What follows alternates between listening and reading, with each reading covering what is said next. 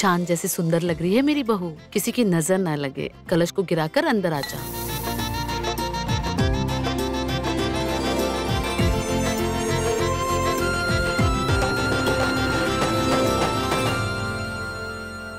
Mummy जी देख लेंगी।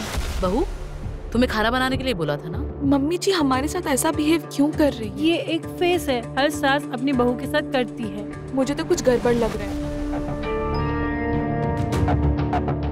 भैया टमाटर सही नहीं है। कहाँ से लाए अच्छा तो ये बात। है एक बात बताओ तुम्हारे दादाजी या नाना जी ने कभी मम्मी की खुशियों के बारे में नहीं सोचा? क्यों देख रही हो हमें ऐसे? मैं तो यही सोच रही थी कि अगर आपकी शादी कम उम्र में नहीं हुई होती ना और आप शहर की बाकी औरतों की तरह भी जवान होते।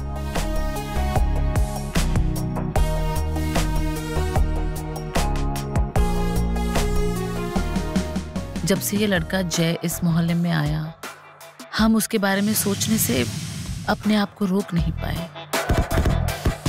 अगर ऐसा ही है ना तो हम आपको आपकी चाहत दिलवा कर रहेंगे।